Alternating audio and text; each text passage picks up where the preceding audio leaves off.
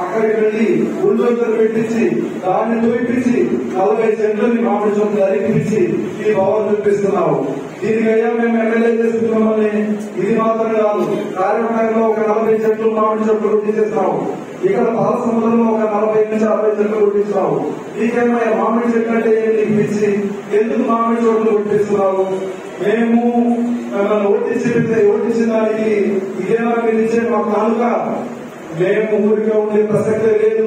ఈ రోజు మేము చూస్తున్నారు జనం ఎంత పౌరుషంగా ఉన్నారో.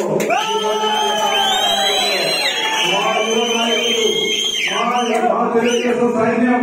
ఎవరని మీకు ఆల్రెడీ చూపించారు. మీకు గుండెల్లో ఆల్రెడీ రైలు పరిగెత్తున్నాయి మీకు అవసరంలో ఆల్రెడీ కూర్చోవస్తున్నాం దయచేసి ఇట్లాంటి సిగ్గు మామూలు పని వదిలేసి జనానికి హెల్ప్ చేయి. నీకు ఒక ఆరు నెలలే ఉంది. ఆ ఇంటి మీద మంచి చేసి వాళ్ళ మంచి పేరు తెచ్చుకొని అట్లీస్ట్ కొన్ని ఓట్లైనా డిపాజిట్ రాకుండా పోవకుండా దరిద్రంగా ఓడిపోకుండా అట్లీస్ట్ కొన్ని డిపాజిట్ అయినా ఓటు? ఈ మా వాళ్ళతో ఈ ఆరు నెలల్లో ఏమైనా మంచి పని చేస్తే మీకు ఓటేస్తారు. నేను అంటున్నా నేను రెండు వేల తొంభై ఎనిమిది రెండు వేల ఒకటి సౌదీ ఒక కంట్రీ ఎవరు పోడు? ఆ కంట్రీలో పోయి నాలుగు సంవత్సరాలు పనిచేసిన. అక్కడ దొంగిలిస్తే చెయ్యి నరికేస్తారు. వేరేమైనా చేశారంటే తల నరికేస్తారు. అట్లాంటి ప్రాంతంలోనే నాలుగు సంవత్సరాలు పనిచేసి వచ్చిన నాయకుడు నేను. ఈలాగా తమ్ము వాడు కాదు. ఈ రోజు బెంగళూరు మండలం పోతే అక్కడ ఒక సర్పంచ్ వాడు వచ్చి నా కాదు అడ్డంగా వెదురుముఖ మండలంలో నా కాలం అడ్డంగా తీసుకొచ్చి ఒక ట్రాక్టర్ పెడుతున్నాడు.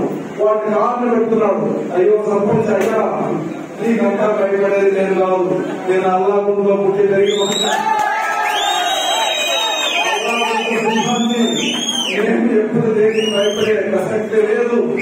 నాలో ఉండే ఒక్కొక్క కళం కూడా శరీరంలో ఉండే ఒక్కొక్క కణం కూడా భయపడదయ్యా నీకు తెలుసు నేను అల్లాగుంట నుంచి వచ్చినా ఏదో వైద్యులని ఏదో రైస్ రైస్ అమ్మో లేదంటే పప్పు సాంబార్ అనుకోవద్దు.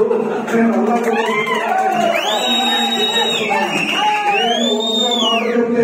నా అల్లాగుంటారు మా వచ్చినారంటే ఈ సంగతి ఏంటో నీకే తెలుసు.